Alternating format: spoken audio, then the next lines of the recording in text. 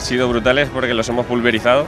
La gente que hace récord es por, por décimas, pero nosotros lo hemos hecho por segundos. Ha sido brutal. Se van a quedar ahí para años y años. No sé si alguien lo conseguirá batir. En aguas abiertas intentamos ir a la estanca de Alcañiz y a Caspe.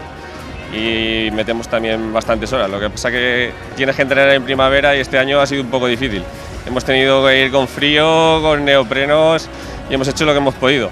Y aún así, fíjate. Y aún así ha sido brutal lo que han hecho estos chicos.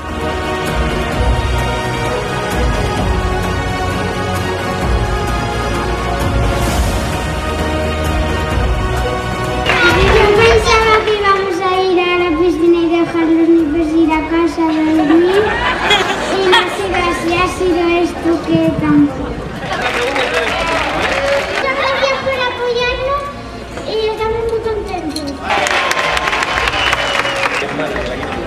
Gracias por apoyarme todo el mundo.